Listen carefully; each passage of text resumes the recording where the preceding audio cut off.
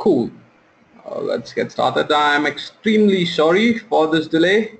Uh, the funny part is like this uh, this whole uh, presentation is about managing Windows application and unfortunately go to meeting don't support Linux desktop. So I had to rush at the 11th hour and get my Windows laptop uh, in place and then get started with this. So I'm really sorry for the inconvenience. Okay, let's get started. Uh, how can I hide this panel? Uh, hide control panel. Ah, cool. Okay. So yeah, welcome to this webinar. Uh, this webinar is designed for everyone who is already familiar with Puppet and is designed basically to manage Windows applications with Puppet. Uh, there's a slight difference between managing Linux and managing Windows with Puppet. So what is that difference? This webinar is all about that. How we can automate uh, Windows applications or uh, configurations uh, and all that stuff. Uh, so let's get started uh, with the introduction. Who am I? My name is Kaustubh Chaudhary. I'm working as a DevOps consultant and puppet trainer for OlinData. Uh, we are basically uh, only authorized training partner in Asia Pacific for uh, Puppet Labs. So uh, all the trainings that happen in, in, India or in anywhere in Asia Pacific happens through us. Um, and we actually believe in uh, sharing the knowledge. So that's why we have this uh, series of webinars. So keep on sharing knowledge. Okay, let's get started with the what we are going to do with this uh, whole webinar today. So we'll first understand what exactly Puppet is, some some basics of Puppet architecture, and then understand the Windows application management, uh, some Puppet code with Windows, and Puppet Forge again related to Windows, and then we'll go to the questions. Uh, if you have any questions in the middle of seminar or the webinar, please raise your hand, uh, share your questions uh, because I, I would prefer to have this as more of, more of a conversation rather than just I'm speaking and everyone is listening. So please free to uh, ask your questions or interrupt me whenever required. Okay. So here is what is Puppet. Uh, Puppet is just a simple configuration management tool. Uh, what exactly it means by that? Uh, is this an orchestration tool? No uh, is this a compliance tool? Yes, it is a compliance tool because what we say with compliance is my configuration of a system uh, is set to ABC as per my standard and is supposed to be ABC till the system gets decommissioned. Yes, that is called as compliance. Uh, how do we maintain this compliance using configuration manager? So yes, it is a configuration management application and also a compliance tool actually this helps a lot when people go for the audits. Uh, I've seen in practice uh, that there are so many uh, types of audits for IT infrastructures uh, uh, and especially if you are into a financial domain yeah they you have to go through way too uh, strict audits and Puppet helps a lot with that. You say something my configuration is supposed to be this on my server whenever the auditor comes and he sees the configuration always stays like that it's never like there is no discrepancy. One system showing xyz one system showing pqrs kind of configuration. So yes that helps a lot. Uh, it's it, it, can scale you know uh, it can scale to a decent amount of uh, manage uh, manage nodes. In in fact in puppet nodes and uh, managed servers or the systems is also called as or, or the agents is also called as the managed server. It's this same uh, language that we use. It's, but, but basically it's the agent uh, that we're talking about over here. So that means we can manage huge amount of agents. What what kind of platforms do we support? Yeah, almost all uh, that are practically used in today's infrastructure. Uh, yeah, so we support all the types of uh, operating systems that you practically may come across in production. Uh, commercial versus uh, open source. Yeah, so there are two variants of Puppet. One is in open source, one is the commercial. Puppet Enterprise is something which comes with the support and open source is something which uh, of course you are on your own uh, you design it um, and you configure it and you maintain it uh, if in case of any problems with open source you are on your own or with the help of community you got to solve it but uh, with the commercial support uh, things are pretty easy to blame on something you know someone if something is not working so that works with the commercial support uh, I generally like that in enterprise uh, infrastructure okay anyways coming back to infrastructure as a code, uh, we'll see how, how Puppet is uh, uh, treated as infrastructure as a code. Uh, we'll talk about it. Uh, any any questions till now, or should I move ahead? Okay, I'll take it as yay. Okay, I have someone raising his hand. Oh, Ravi Shankar, you have any questions? Can you type your questions?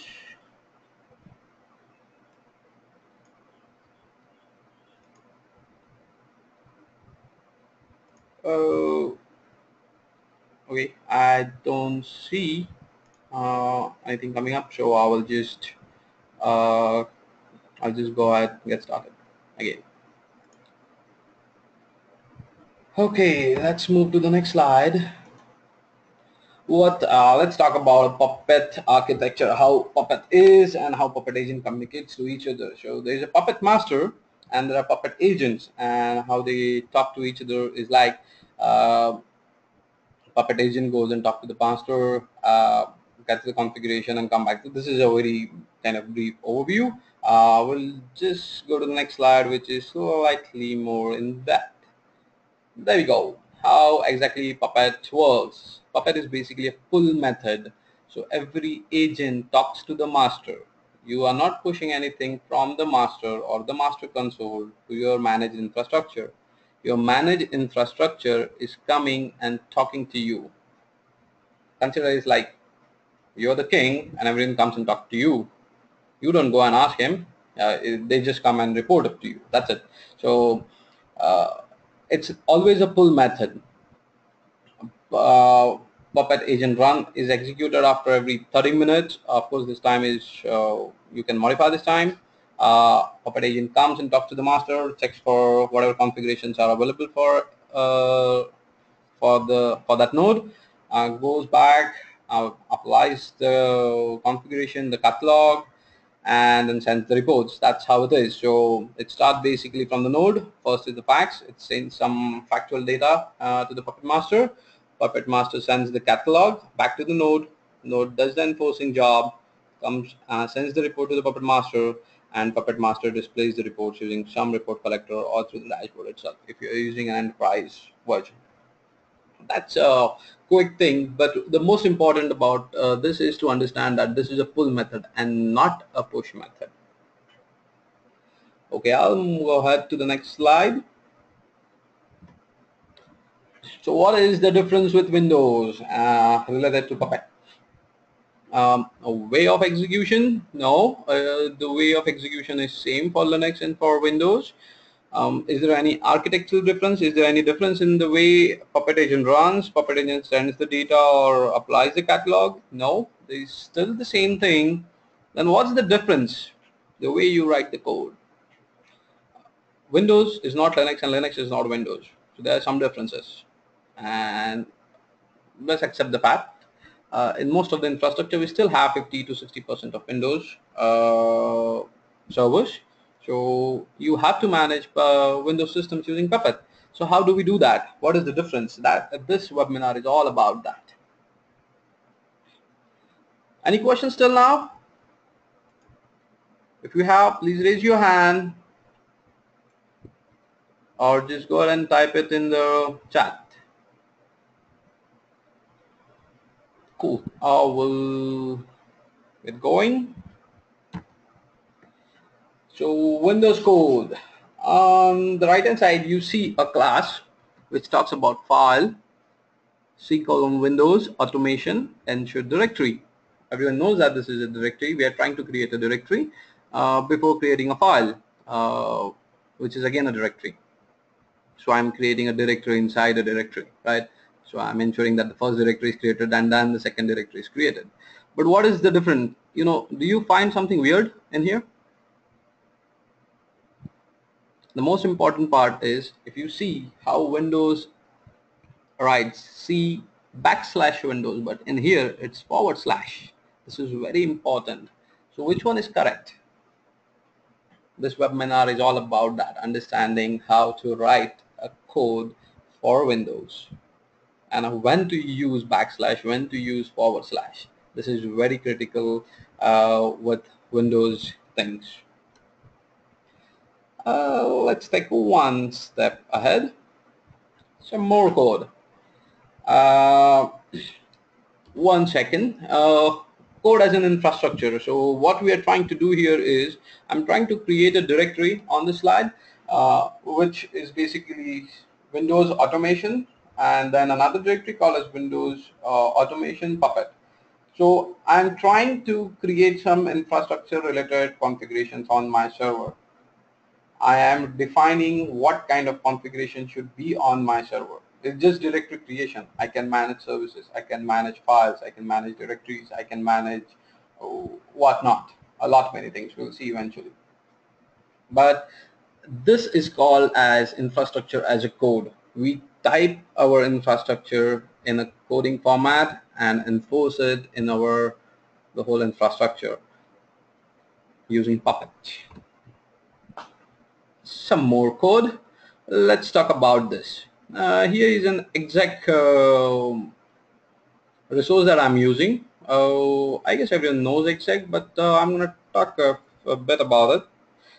Exec, uh, scp status.bat. Okay, um, scp is like Symantec Enterprise uh, application. So I'm just given it as a name as an scp status.bat. It's a simple Windows bat script.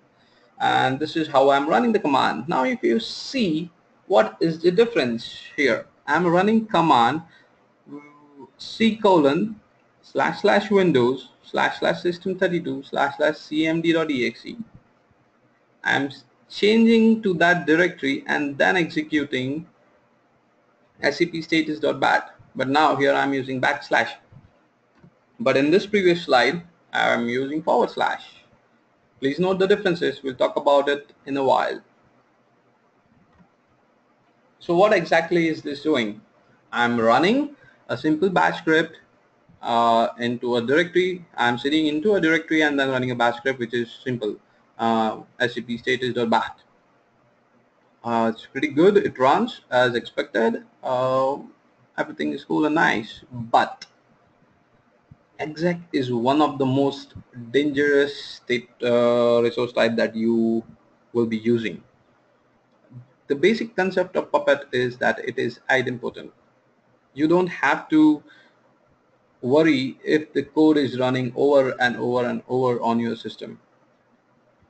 If the uh, uh, what we say if I run a command over and over I don't know what will be the output of it.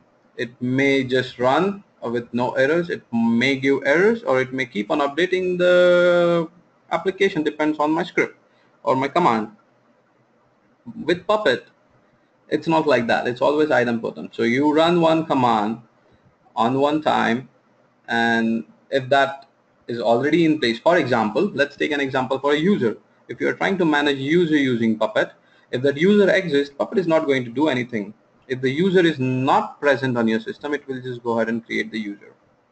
So but once the user is created every time puppet agent runs it is not going to go ahead and modify that user.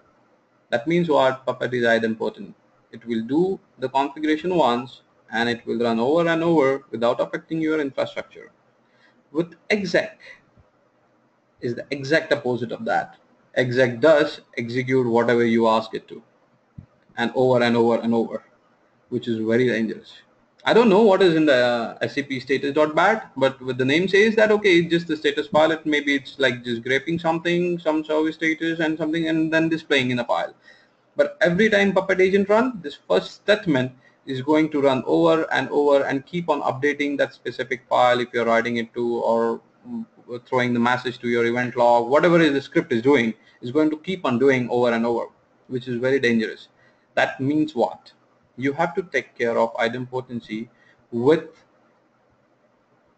uh, with exec. If you are using exec, you got to make sure that it runs only once and not again and again. That is very important. So that's why I have a second example. In here, I am running uh, configure network settings.bat and it says only if this file exists. If this file exists, do nothing. If it's uh, if it's uh, not there, just go ahead and create the file and then run it. So what happens is like I'm creating a check. If the file exists, don't run. If the file don't exist, go ahead and run it. So I'm creating a kind of idempotency. This is very important with exec. Unfortunately, with Windows, you have to use exec in a lot many places. And that's why it is very, very, very important to understand how to make it idempotent. If you don't do it, you will be messing up with your infrastructure. Are we good till now? Any questions with exec?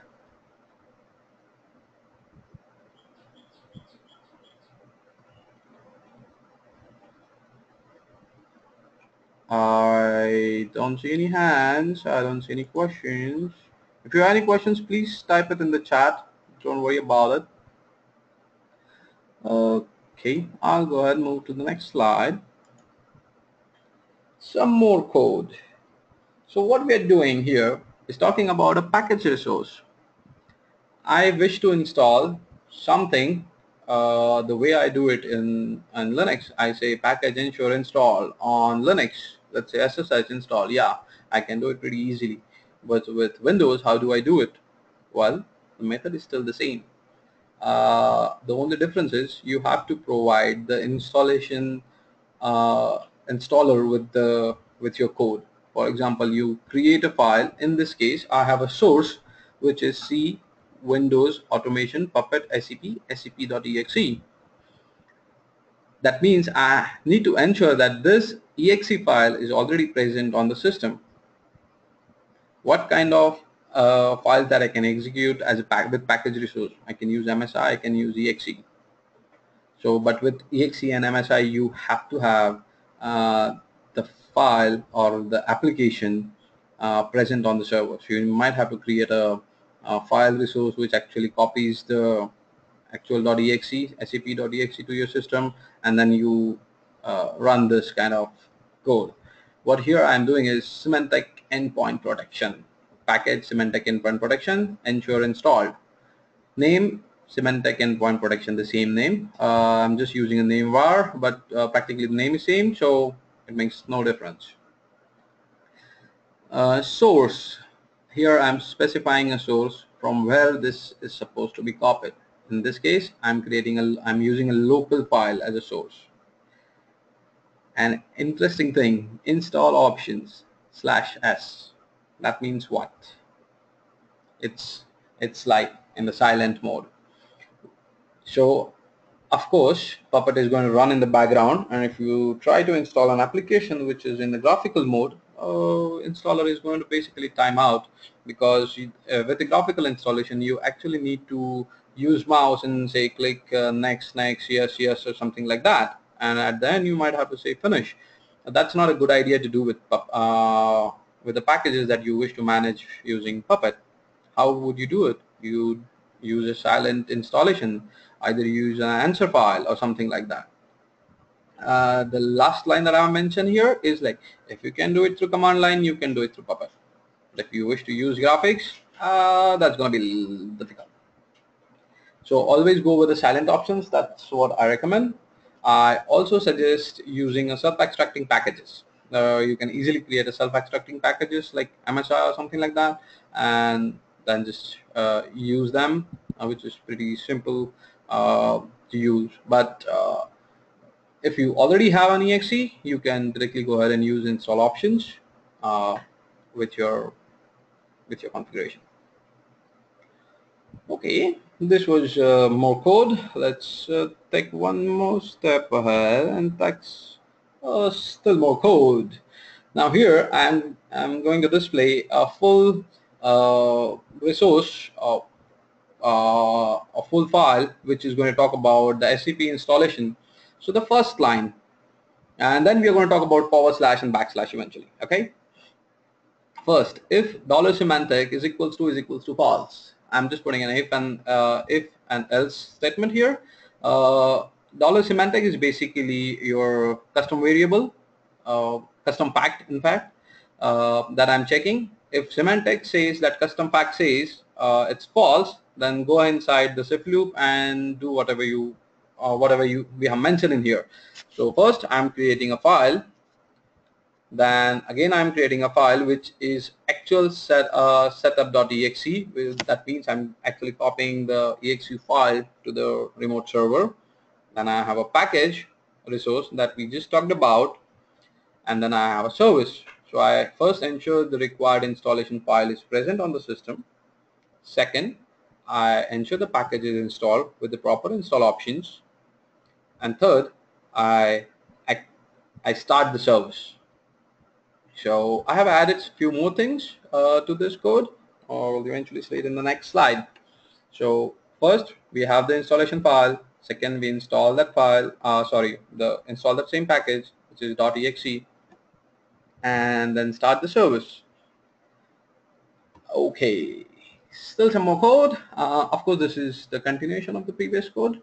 Uh, I am also having a SCP status.bat okay what is this doing this is basically running uh, a status.bat which bat contains uh, it just basically uh, grabs the status of the service if it is actually running or not and then uh, put it to some file so uh, this is just an example. Practically the, you may not need it but uh, just to give it an example I have added it over here. And else what if the dollar Symantec, uh, what if dollar Symantec is equals to true? What happens? It goes to else. And else it makes sure the service is always running and is always enabled.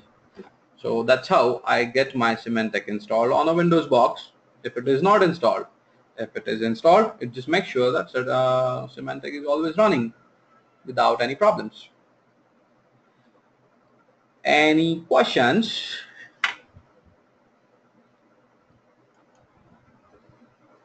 Now I got a silent group over here. Mm -mm -mm okay. These are some important things that we need to remember. Okay, before we go there, uh, I I was expecting someone to ask me about this, but no one unfortunately. Uh, if you see uh, in this thing, in the service resource, I've explicitly mentioned it on the uh, right hand side, uh, sorry, left hand side, uh, SCP master service. So where do I get this service name? This is the actual service display name that you get on your Windows system. If you go to your services.msc, you know, you just start your services console, MMC, um, just right click uh, your any of the service and see the properties. Then there is a display name and there is actual service name. So this is the display name that we use. Same goes with the package. Uh, if you see there's a package resource there's a name called a Symantec space endpoint space protection. So this is the actual name that you see in your uh, add remove programs this is very important uh, eh, that you mention the correct package name uh, and the correct service name uh, with your code. Okay, so there we are. Uh, some things to remember. Uh, I did learn this thing in a little harder way, so thought of like putting it here. Uh, the most important is if you're running a Win uh, Puppet 32-bit application, 32-bit binary on a 32-bit system, everything is good. If you are running a 64-bit binary on a 64-bit operating system, everything is good. You don't have to worry much about it. With version 3.7 and above, I guess you really don't have to worry about file system redirectors. But if you are running a 32-bit version of Puppet on a 64-bit version of operating system, then there is a problem. The file system basically redirects directly anything and everything to syswow64 instead of system32. So lot many applications fail if you are uh, dependent on system32 specific uh, binaries. Uh, this is very important to understand. Uh, same goes with the program file environment. Uh, C program files in 64-bit uh, and 32 bits are slightly different. That needs to be taken care of whenever you are writing code. This is very, very important because if the file redirects are not as expected, uh, you can get into a, a loop of uh, figuring out what's happening and you never find out because technically you are doing right. Uh, Puppet is doing something silently at the backend. So this is very important. This is only if you are running a 32-bit uh, Puppet agent on a 64-bit uh, operating system. Um, so again, as far as you are running the same architecture, everything is going to be fine. You don't have to worry about it. Okay, now the backslash. So when to use and when not to use. Here is a simple example. See colon colon program files slash slash puppet labs. You always use double quotes with this kind of uh, backslashes when you're using.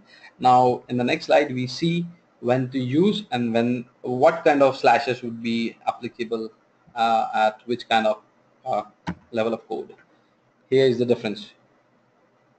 Forward slash. You can use forward slash, must use forward slash in template paths or in your Puppet URL, something like that. Forward slash and backslash both are allowed in your path variable, uh, in your source packages. So in your uh, in your commands or something like that where do you must use a backslash. For example, uh, a perfect example is in front of us. Here in this slide, I'm using forward slash in my file resource and my source. But when I'm actually executing anything on the system, my command, my exec command is actually going on to that directory and then executing that script from that directory.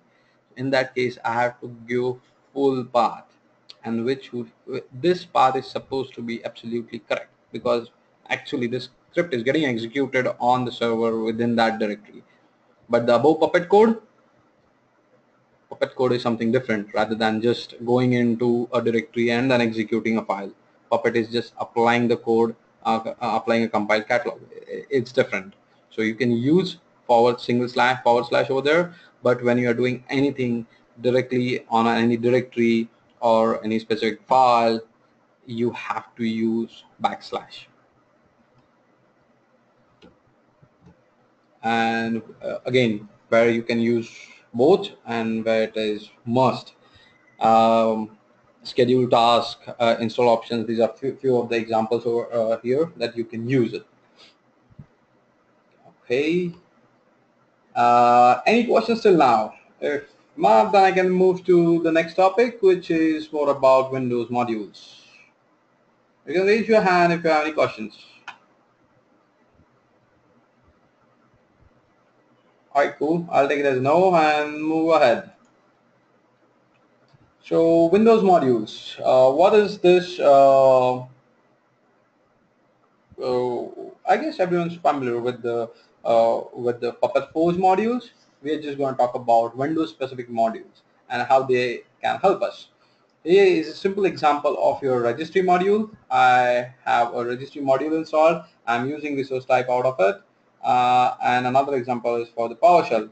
So with the first one, I'm just disabling UAC on my Windows 2012 system, I can go ahead and update my uh, every single registry value uh, with this if I have this module installed because this module is capable of going ahead and talking uh, to your registry directly.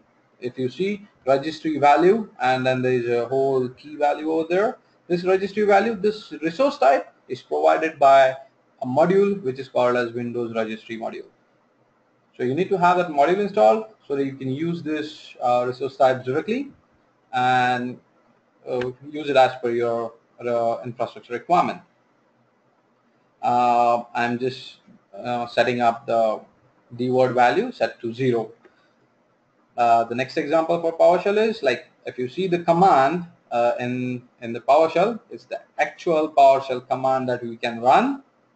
Uh, it's an exec uh, resource we are using, so we are also using unless, which is basically making it, it idempotent, and I'm using provider as PowerShell. So you just type whatever you write in your PowerShell script in your command and just mention provider as PowerShell, and it will do whatever is required. These are the examples these are like uh, pretty day-to-day -day things uh, which you might need. Windows registry module your powershell module your iss module. These are like uh, already available uh, on puppet forge. All you need to just install it and use the resource type uh, as per your convenience okay next uh, let's take a look at something more interesting in this slide the previous slide let me go there again we talked about MSI supported types, MSI, exec, and chocolatey. Uh, many of uh, Windows admins have not heard about chocolatey, so let's quickly have a word on chocolatey now. Uh, where, where, ah, yeah, that's where I am.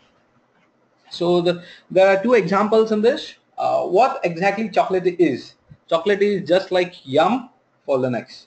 What you do with Yum is like Yum install some package name and it does the installation for you or if you're using a latest version of uh, Linux you might go use with DNF or maybe apt-get for Ubuntu or Debian kind of uh, system so it's like there's a repository somewhere uh, you configure that repository on your system and then just execute one command and does the installation for you you don't have to like download the package or dependencies with that and then install individually so yum makes your life easy same goes with Chocolatey. Uh, Chocolatey is like Yum for Windows.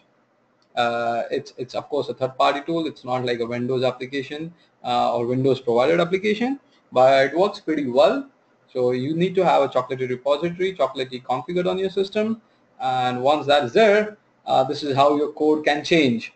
In the first example, here what I'm doing, I'm actually copying the file uh, locally in my C, uh, C colon temp directory git version and then giving install option as silent and ensure install and uh, whatnot. Uh, th this is what we have seen in the uh, Symantec installation in the previous example, uh, few of the previous slides. Uh, with Chocolatey, code is like just two lines. Look at that. Package, git, ensure, latest. That's it. It's going to install the git. It's going to download the git from the repository, install it, and do it whatever the configuration is required to do. I mean, basically the installation, which is pretty cool. So those who are not familiar with uh, the Chocolatey, you really want to Google about it now. Okay, that's uh, that's pretty much I have for Windows module. Uh, there are some interesting modules. Uh, of course, you can check it on the Puppet Forge and uh, the one which I generally recommend of using is uh, Puppet Lab Windows module. This Windows module is a group of multiple modules.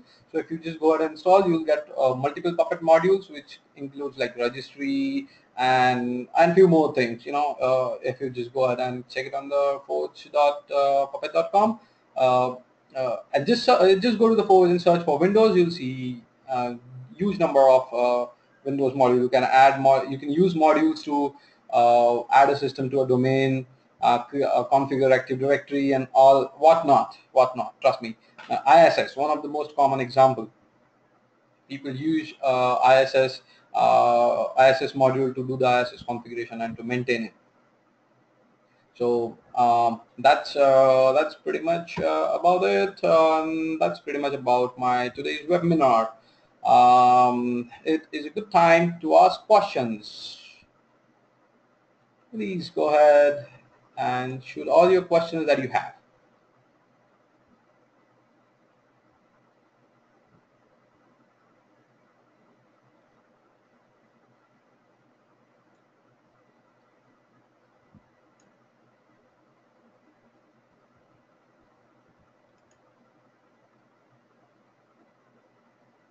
Uh, no questions.